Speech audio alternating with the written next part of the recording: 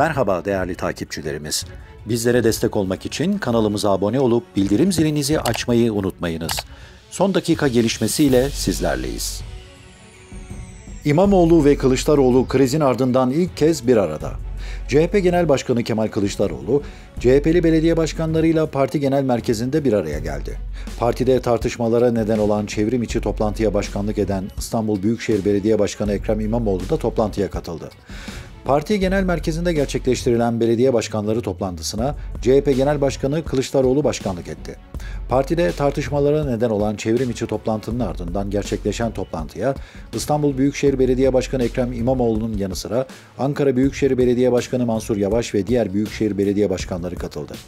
Bolu Belediye Başkanı Tanju Özcansa tedbirli olarak kesin ihraç talebiyle Yüksek Disiplin Kurulu'na sevk edildiği için toplantıya davet edilmedi.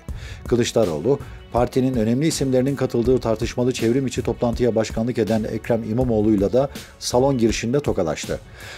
Toplantıda Kılıçdaroğlu'nun yanı sıra İmamoğlu'nun aralarında bulunduğu belediye başkanları konuşma yaparak görüşlerini dile getirdiler. Kıymetli takipçilerimiz, bir haberimizin daha sonuna geldik. Bir sonraki haberimizde görüşmek üzere.